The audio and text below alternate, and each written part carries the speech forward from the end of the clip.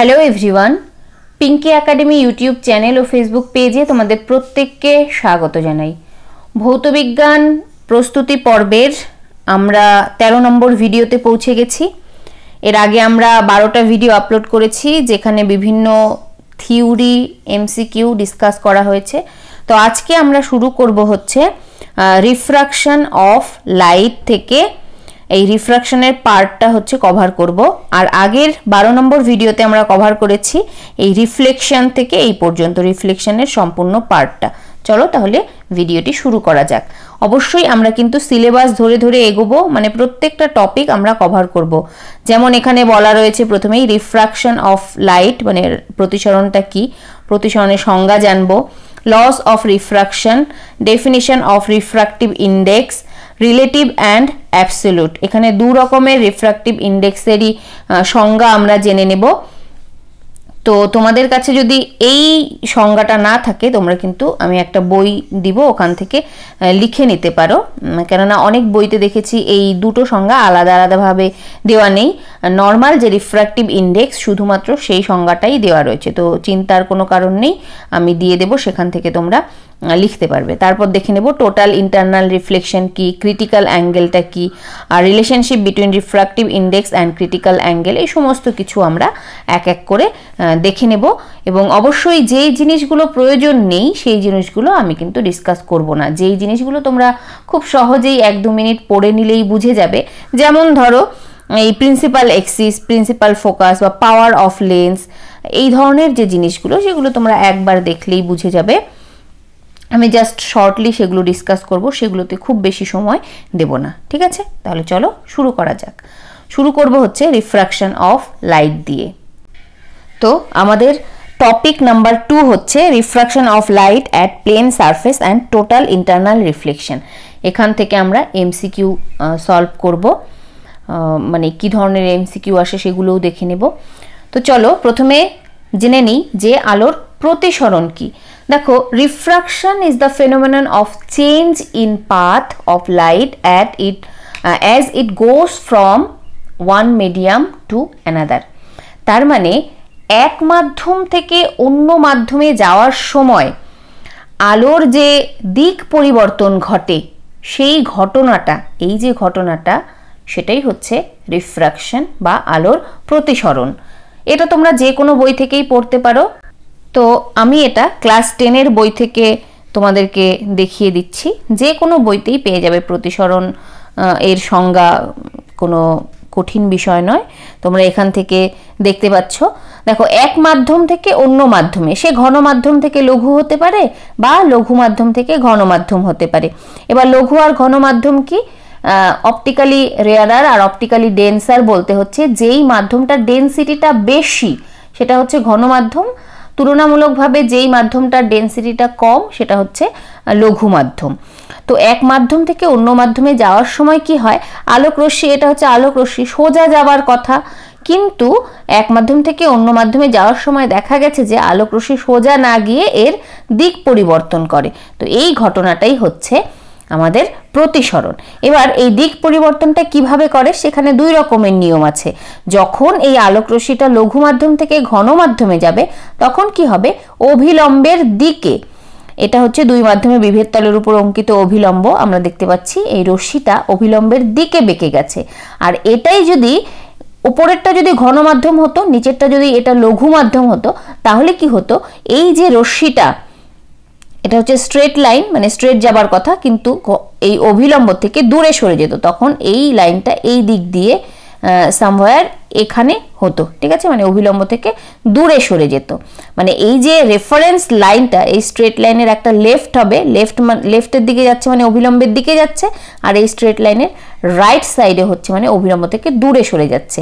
দূরে সরে কখন যাবে? যখন ঘন মাধ্যম থেকে লঘু মাধ্যমে আসবে, ঠিক আছে? তো এই দুটো বিষয় মনে রাখতে হবে। যখন আলোক রশ্মি লঘু মাধ্যম থেকে ঘন মাধ্যমে যায়, তখন অভিলম্বের দিকে সরে যায়। আর ঘনমাধ্যম থেকে লঘু মাধ্যমে গেলে অভিলম্ব থেকে দূরে সরে যায়। তো এটা হচ্ছে প্রতিসরণের দুটো কেস। আর প্রতিসরণের সূত্রগুলো তোমরা দেখে নাও এখানে। প্রথম সূত্র, দ্বিতীয় সূত্র, এগুলো ব্যাখ্যা করার কিচ্ছুই নেই। এগুলো সবাই জানো। আর এখানে যেটা জানতে হবে সেটা হচ্ছে এই প্রতিসরাঙ্ক। প্রতিসরাঙ্ক, এই যে sine i divide by sine r এবার আই কি আর আর কি? আই হচ্ছে এই যে দেখো, স্পষ্ট করে লেখা রয়েছে আই হচ্ছে ইনসিডেন্ট অ্যাঙ্গেল মানে হচ্ছে প্রতি এটা হচ্ছে আপতন কোণ, আর আর হচ্ছে রিফ্রাক্টিভ অ্যাঙ্গেল বা আমরা বলতে পারি অ্যাঙ্গেল অফ রিফ্রাকশন আর এই যে sine I incident অ্যাঙ্গেলের sine r angle of refraction এর সাইন, এর যে অনুপাত সেটা হচ্ছে ধ্রুবক। এই ধ্রুবকটিকেই কি বলব আমরা? প্রথম মাধ্যমের সাপেক্ষে দ্বিতীয় মাধ্যমের প্রতিসরাঙ্ক। আর এখানে কি লিখব? বা একে সিম্বলাইজ যদি আমরা করি, এখানে ওয়ান মিউ টু মিউ হচ্ছে প্রতিসরাঙ্ক। আর এই ওয়ান আর টু এই সিম্বলের মানে কি? প্রথম মাধ্যমের সাপেক্ষে দ্বিতীয় মাধ্যমের প্রতিসরাঙ্ক। এভাবে এই প্রতীক দ্বারা একে আমরা প্রকাশ করব। দেখো, প্রথম মাধ্যম সাপেক্ষে দ্বিতীয় মাধ্যমের মানে ওয়ান মিউ টু আবার যদি এটা হতো যে দ্বিতীয় মাধ্যমের সাপেক্ষে প্রথম মাধ্যমের, তাহলে টু মিউ ওয়ান এরকম করে আমরা লিখতাম। আর এই যে সূত্রটা, এটা হচ্ছে স্নেলের সূত্র, সেটা আমরা সবাই জানি। আচ্ছা তাহলে আমরা কোন কোন বিষয়গুলো দেখে নিলাম? রিফ্রাকশন অফ লাইট কি? লস অফ রিফ্রাকশন আর এইবার আমরা এই রিফ্রাক্টিভ ইন্ডেক্সটা একটু ভালো করে দেখে নেব। দেখো রিফ্রাক্টিভ ইন্ডেক্সটাকে আমরা কিন্তু এইভাবেও লিখতে পারি। মিউ দিয়ে লিখি, আবার কখনো এন দিয়েও লিখি। তাহলে এন টু ওয়ান দিয়ে লিখি। সিম্বল সেই একই। এই এটাকে আমরা ওয়ান মিউ টু লিখতে পারি, বা হচ্ছে এই এন টু ওয়ান লিখতে পারি।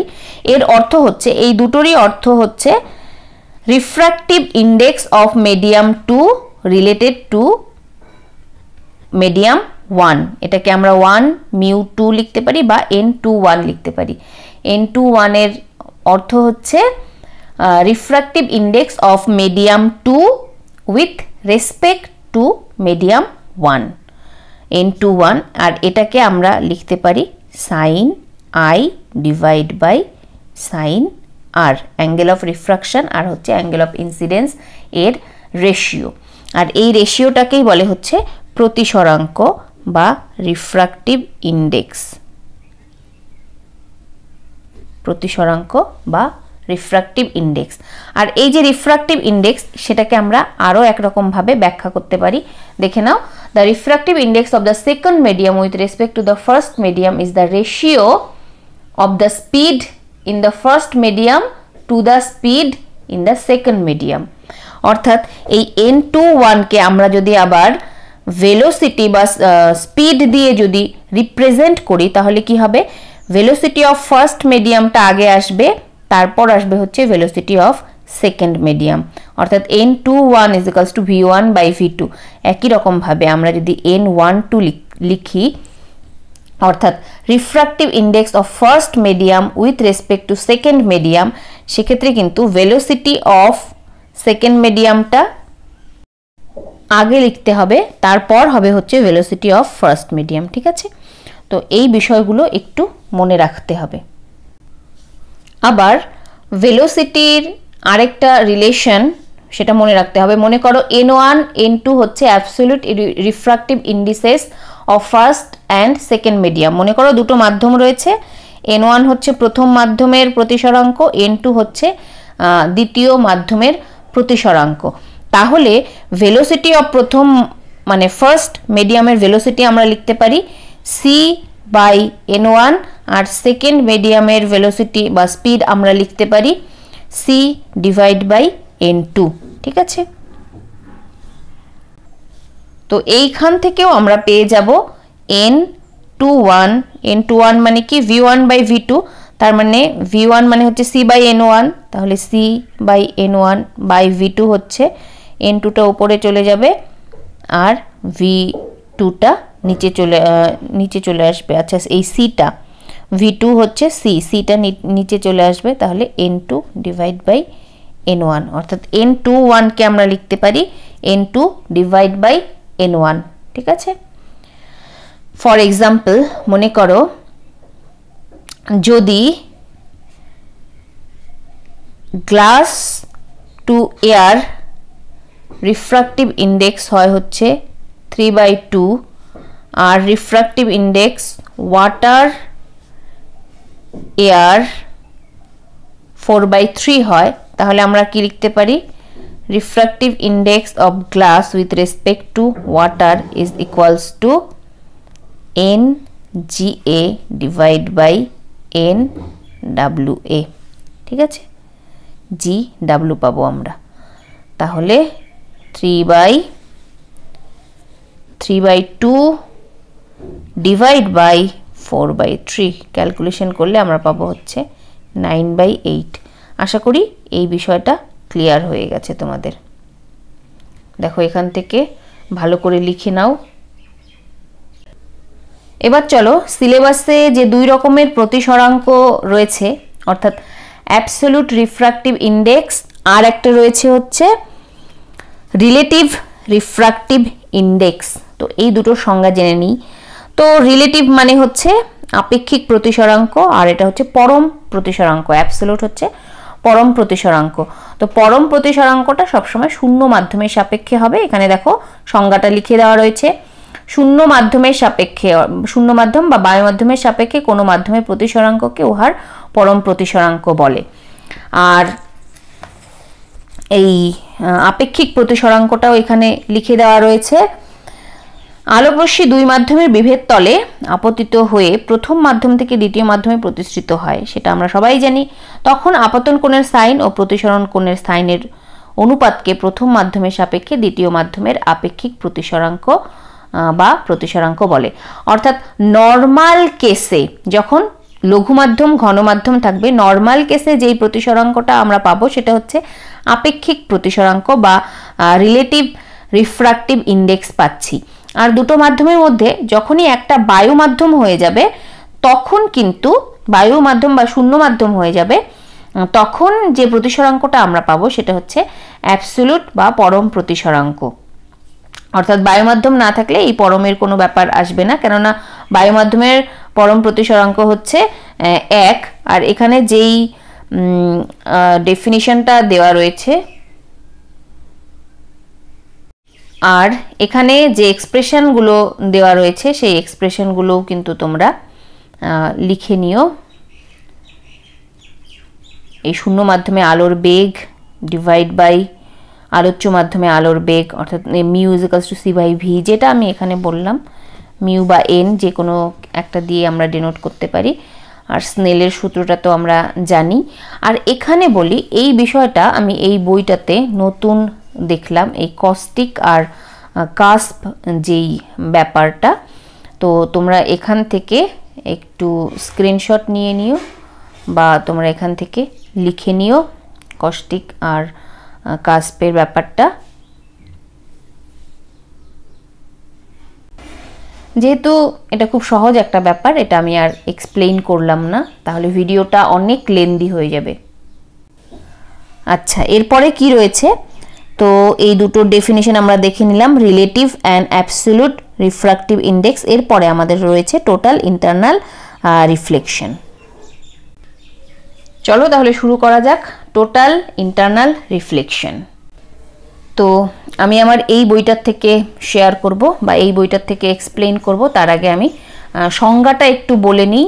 তোমরা যদি লিখে নিতে চাও, লিখতে পারো বা যে কোনো বইতে বেঙ্গলি ভার্সনটাও পেয়ে যাবে। মানে টোটাল ইন্টারনাল রিফ্লেকশনটাকে যদি আমরা ডিফাইন করি it may be defined as the phenomenon of reflection of light into a denser medium from an interface when the angle of incidence is greater than the critical angle for that pair of media.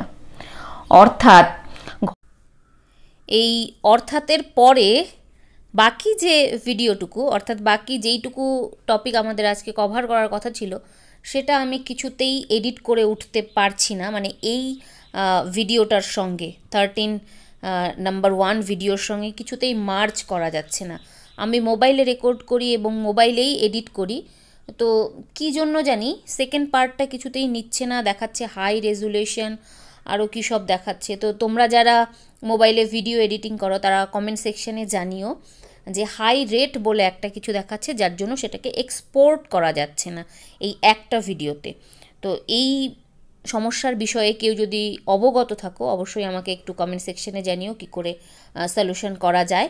তো যেহেতু একটা ভিডিওতে edit করা যাচ্ছিল না সমস্ত পার্টটা তাই জন্য আমি এই পার্ট টু অর্থাৎ থার্টিন নাম্বার টু বলে আলাদা করে আরেকটা ভিডিও আপলোড করলাম। আশা করি তোমাদের অসুবিধে হবে না। আর সেটাতে আমি কিছুই করতে পারছি না। মানে একটু যে সাউন্ড বাড়াবো বা এডিট করব ক্রপ করব, কিছুই করা যাচ্ছে না।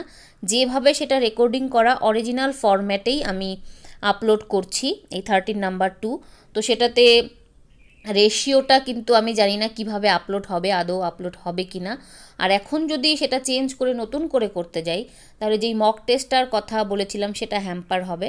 তো সেটা হয়তো উল্টো হয়ে আপলোড হবে। তো তোমরা একটু মোবাইলে অ্যাডজাস্ট করে দেখে নিও। আমি ওই পার্টটা সুন্দর করে পরবর্তীকালে একটা ভিডিও তৈরি করে দিব। আজকের জন্য কিন্তু বুঝতে অসুবিধা হবে না। শুধুমাত্র মোবাইলে হয়তো তোমাদের মোবাইলটাকে ঘুরিয়ে দেখতে হতে পারে, কেননা সেটা উল্টো হয়ে হয়তো আপলোড হবে। যেমনটা বললাম, আমি সেটার রোটেশনও করতে পারিনি। কেননা এডিট করাই যাচ্ছিল না, নিচ্ছিলই না অ্যাপে এক্সপোর্টও করতে দিচ্ছিল না। তো এই পর্যন্ত ছিল থার্টিন নাম্বার ওয়ান পার্ট ওয়ানের আলোচনা। আর থার্টিন নাম্বার টুতে তোমরা এই প্রতিসরণ ও লেন্সের সমস্তটা পেয়ে যাবে। তারপর তোমাদের মতো করে রেডি করো। দেখা হচ্ছে সাড়ে নয়টায়। আরও একবার বলে দিচ্ছি, এই অনিচ্ছাকৃত ভুলের জন্য sorry thank you so much for watching the video